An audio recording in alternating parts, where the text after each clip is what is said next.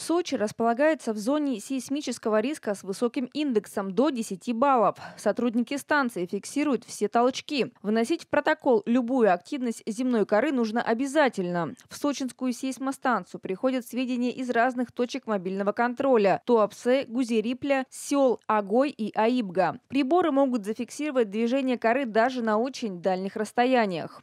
Кавказ – это один из сейсмоактивных мест, где могут происходить землетрясения. Институтом физики Земли была поставлена задача набрать данные о землетрясениях, которые происходят на побережье Черного моря. Были тогда одна из таких э, выносных станций, э, временных станций, была в Сочи в 28 году. Сейчас на станции современное цифровое оборудование. Сейсмологи говорят, чаще всего землю в районе Сочи приводят в движение Кавказские горы. Они молодые и литосферные плиты под ними активные. Именно поэтому слабые землетрясения происходят постоянно, и сейсмологи даже называют их полезными или санитарными.